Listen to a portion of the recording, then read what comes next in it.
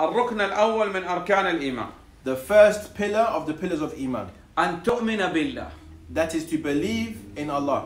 كيف أؤمن بالله؟ How do you believe in Allah? تؤمن بتوحيد الربوبية You believe in the Tawheed of Lordship الألوهية and the Tawheed of Worship الأسماء والصفات and the Tawheed of Allah's names and attributes. تؤمن بوجود الله And you believe in the existence of Allah. ما الأدلة على وجود الله؟ What's the evidences for the wujud of Allah? كثيرة There are many.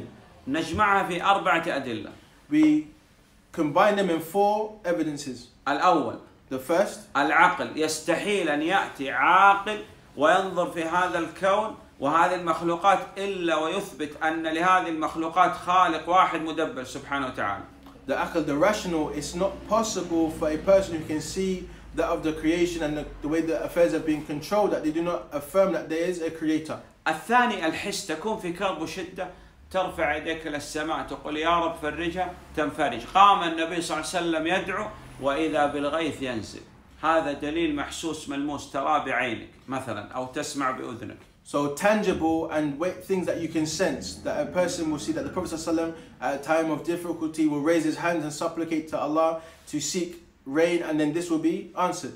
الثالث الفطرة كل مولود يولد على الفطرة فهو يثبت وجود الله سبحانه وتعالى So the fitra, the natural state that everyone is born upon, everyone is born upon this natural state, believing in the existence of Allah subhanahu wa ta'ala. الرابع الشرع وهذا كثير الأدلة من الكتاب والسنة كثيرة في إثبات وجود الله سبحانه وتعالى والله أعلم And the fourth is the religion, and this is affirmed in many evidences by way of the Quran, the Kitab, and the Sunnah.